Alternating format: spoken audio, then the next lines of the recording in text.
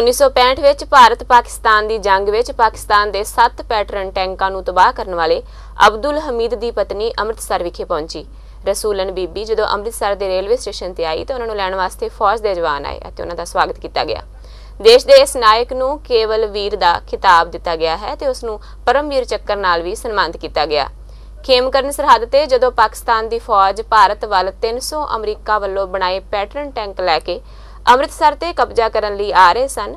ਉਦੋਂ ਹੀ ਇਸ ਹਵਲਦਾਰ ਨੇ ਉਹਨਾਂ ਨੂੰ ਆਪਣਾ ਨਿਸ਼ਾਨਾ ਬਣਾਇਆ ਅਤੇ 7 ਟੈਂਕਾਂ ਨੂੰ ਤਬਾਹ ਕਰ ਦਿੱਤਾ ਸੀ, ਜਿਸ ਤੋਂ ਬਾਅਦ ਬਾਕੀ ਟੈਂਕ ਉੱਥੋਂ ਵਾਪਸ ਚਲੇ ਗਏ ਅਤੇ ਜਦੋਂ ਉਹ 8ਵਾਂ ਟੈਂਕ ਖਤਮ ਕਰ ਰਹੇ ਸਨ ਤਾਂ ਉਸ ਸਮੇਂ ਅਬਦੁਲ ਹਮੀਦ ਸ਼ਹੀਦ ਹੋ ਗਏ ਸਨ।